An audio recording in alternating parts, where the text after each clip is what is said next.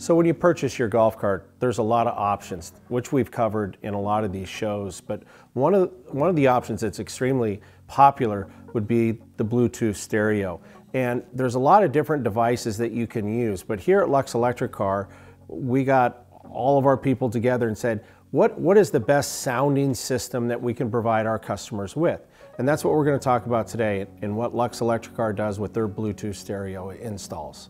Well, you know, sound is everything. Just like when you're on the first tee and you catch that driver just perfect, that sound that it makes, or maybe when you're listening to Tiger Woods tee off, I mean, the sound is incredible. Well, you have a lot of different options when purchasing a golf cart with the stereo that you have. And where do we mount those speakers? Some of my competitors will mount them what's called a sound bar, and they'll mount them up here in the roof supports. There's a couple negatives to that, okay?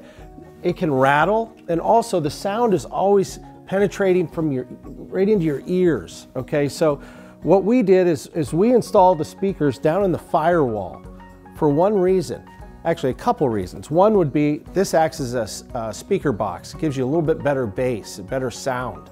Also, it's out of the way. Okay, so it's not in your ears constantly. Maybe your, your passenger really doesn't care for music in a golf cart that much, I guarantee you they're really not going to like it if you mount the speakers right over their head.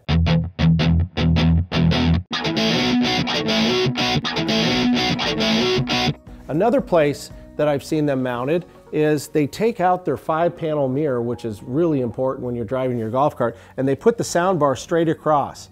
Again, it's, it's up high.